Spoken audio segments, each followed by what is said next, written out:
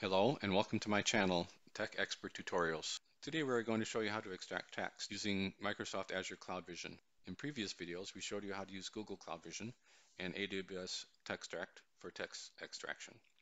Now we will cover how to set up the service on the Azure console, then we discuss the code for the demo. Next we run the code and look at the output. Finally we show you the results of the extraction, especially the accuracy of the text. Let's get started. First, we're going to need to create a computer vision resource. You'll see it here if you've used it recently. If not, you just type in computer vision. Next, we're going to click on create. Okay, from here we pick the subscription that you want to use. I'm going to create a new resource group. That way when I'm finished, I can clean this up just based on the resource group, any of the resources that I've created. Give that a name. Your region. I'm going to select West US. The name of my computer vision resource. You can select whatever you see here. I'm going to select free for now, but you can select standard if you're a paying customer. Okay, it looks like that one's already been taken, so I'll just modify it slightly. From here, I'm going to review and then create. Oh, don't forget to check this box. Okay, so I'm finished. I'm going to go ahead and review and create this. Next I'll go to resource. So this will open up your resource, the details. From here I need to manage some keys. So the keys are already created. From here I can copy the key that I need to the clipboard. I'll also need this endpoint to run my code later. So I can copy that also and save that. Okay, now we'll cover the code. This code you'll find in a repo. I'll make that available at the end of the video in the description. So I'll load the Python notebook. I'm using a Jupyter notebook for this demo. So here's the repo. Like I say, I'll put that in the description below. If you need an account, you can run this code from the command line, or you can go to the console, as I've shown you before. The key piece here, you need to install the SDK for Azure. This is how I created my environment. And to get this running in Jupyter Labs, I run this ipykernel command. Okay, first I need to import a couple of basic packages, OS and sys. You have two options here. You can either set up environment variables in your environment, or you can access from a settings.json file. This is what the settings.json file should look like. It'll just have the region and the key. The key is the one you copied earlier. Okay, in this bit of code, you're loading the SDK functions that you need.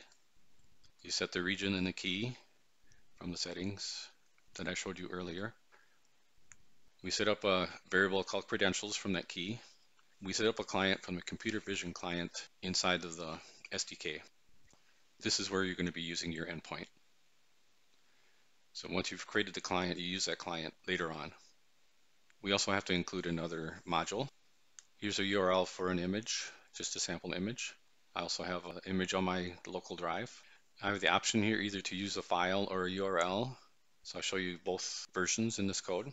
So if type, then you see an HTTP response coming back. Otherwise, I'm just going to be reading the image. And I'll be reading this in stream instead of a direct read. Next, I import the time module. I'll be using that in a sleep statement later. You'll see why I need that in a few minutes. I set up a few variables here. This is from the headers from the response.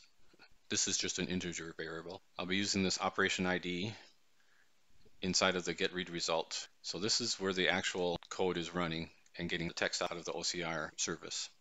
So I have get read result for the operation. The reason why I have the sleep here is because this is asynchronous.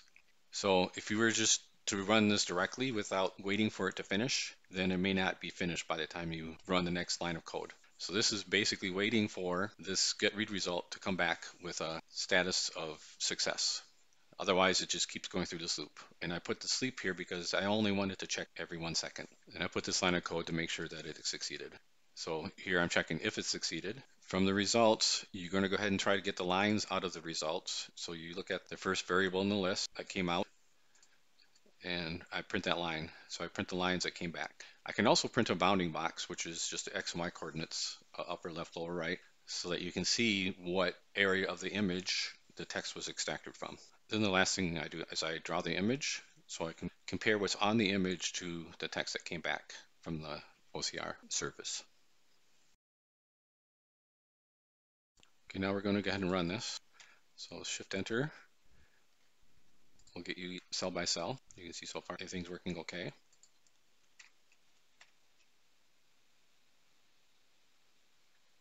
Okay, here's where you're going to run the call to the service. See, that was very quick. And it was successful. So we should have results coming back. This is what came back from the OCR. And this is the image that I'm using. I'm going to look for sample Janice Ann in my output. See sample Janice Ann, looks like it's in the right location, 123 Main Street. Parts of the image are going to be difficult to read. The OCR will fail in some of the text in this image, like Liberty is going to be difficult for it to read. Depending on how readable the text is, will determine how successful this service is in extracting the text. Just as a rough estimate, I would say it's 90 to 95% accurate. That's all I have for today. See you next time.